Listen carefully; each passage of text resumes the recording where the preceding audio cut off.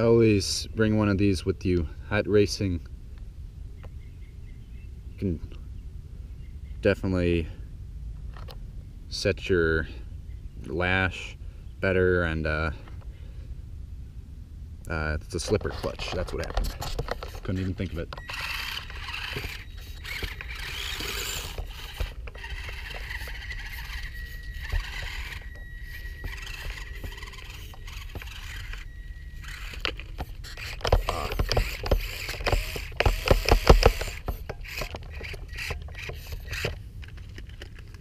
that again.